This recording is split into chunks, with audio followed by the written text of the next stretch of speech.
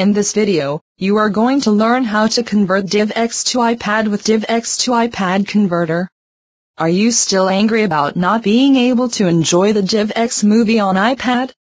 If so, Aiseesoft DivX to iPad can solve this problem for you.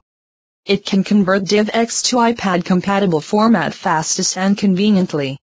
Apart from the DivX, it also supports other input formats, such AVI, MPEG, MOV, FLV, etc.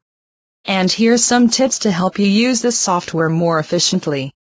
First download the installation package of Aiseesoft iPad Video Converter, and install it.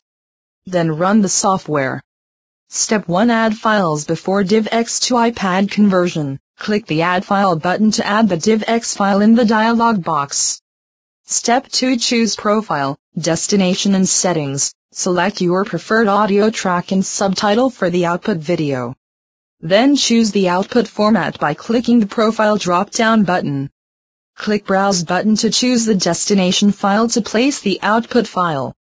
Aiseesoft DivX to iPad Converter also provides you with further settings, such as video encoder, frame rate, audio channels, etc., to adjust. Click the Settings button on the main interface and you can see the interface below. Step 3 Start DivX to iPad conversion. Click the Convert button to start converting DivX to iPad. And during the converting process, the process interface can help you see the whole progress. Also this DivX to iPad converter provides you with another useful function snapshot. After inputting the video, click the play button marked with a red oval and you can preview the input video in the built-in player.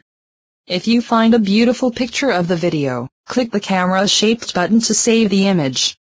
Now download the DivX to iPad converter and have a try. I encourage you to act now. Visit the link below to download your free trial copy of the iPad video converter before it is too late and start enjoying your favorite movies on your iPad today.